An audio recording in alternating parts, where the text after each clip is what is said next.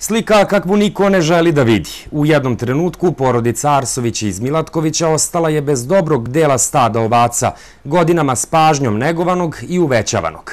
Čopor Vukova u nedelju popodne na proplancima iznad Milatkovića i Golica zatekao je stado ovaca porodice Arsović na paši. Za samo nekoliko minuta stradalo je deset grla.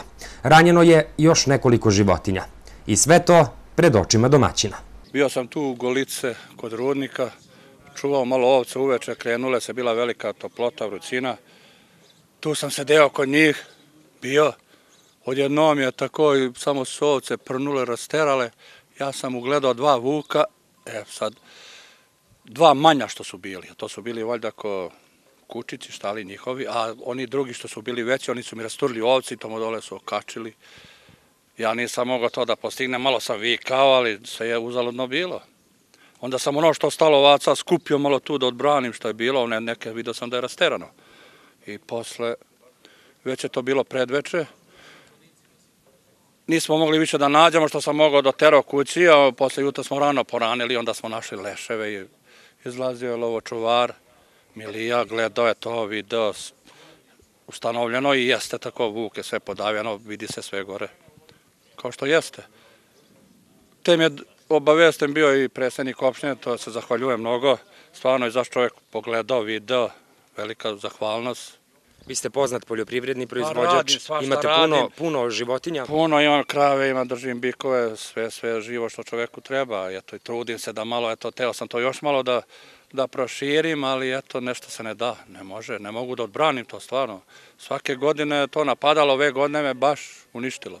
Ovo nije prvi put da u reonu Milatkovića i okolnih sela Vukovi napadaju stada tokom letnjih meseci. Vreme je da se ozbiljno pozabavimo ovim problemom, istakao je predsednik opštine Ignjat Rakitić, koji je posetio porodicu Arsović i obećao svaku moguću pomoć i podršku.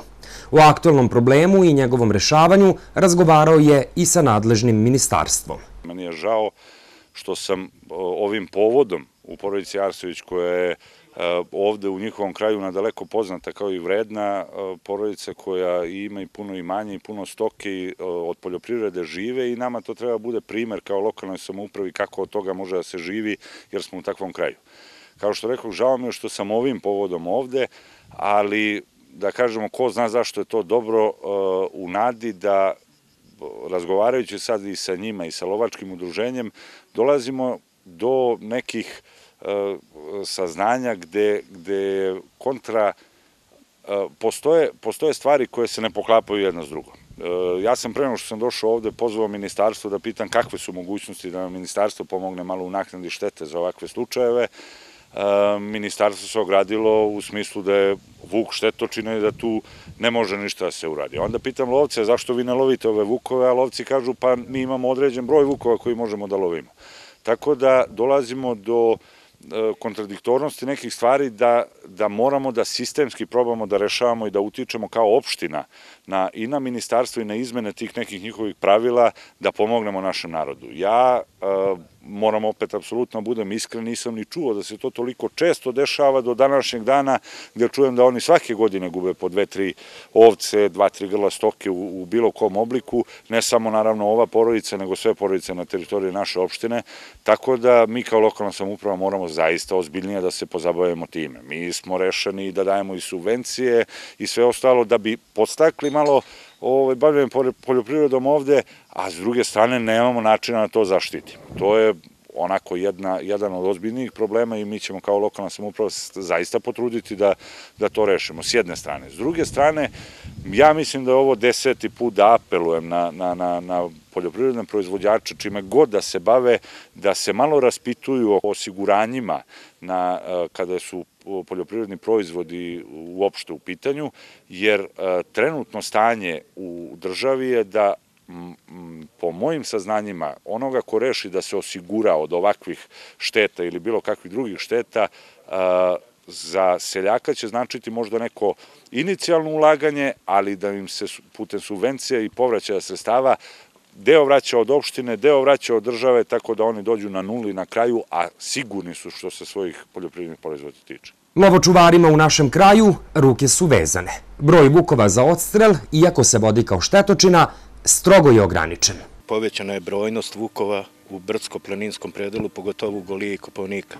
Vuk je e, po Lovačkom savezu i po e, nama Lovačkom udruženju Raške po kalendaru, on je 100% štetočina. Mi smo tu uvek da izađemo u susret svakom, međutim sad je velika vegetacija, zbog, zbog bezbednosti svih lovaca, znači mi nemamo, ne možemo da pratimo trag, da je sneg, mi bi odmah našli to i završili posao, odstrelili bismo te, znači, ali i, i to lovstvo, zakon o lovstvu nalaže nam da pre, ne možemo mi odstreliti do zadnjeg vuka, Znači, ta populacija mora da postoji. Oni nam prave probleme baš zbog toga. A čovek, evo ti vidite koju štetu ima danas i mi moramo da pomognemo i da izađemo u susret što je moguće. Ministarstvo je dužno po zakonu o lovstvu da svaki taj slučaj svakom čoveku isplati znači.